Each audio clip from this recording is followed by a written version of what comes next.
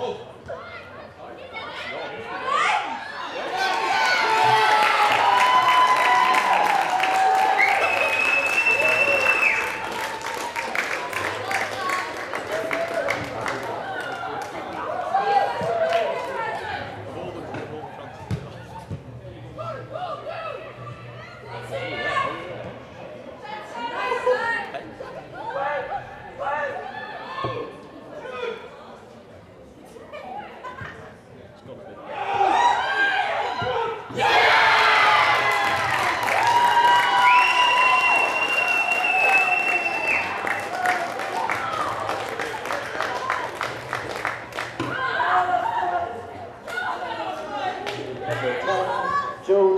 Passmore.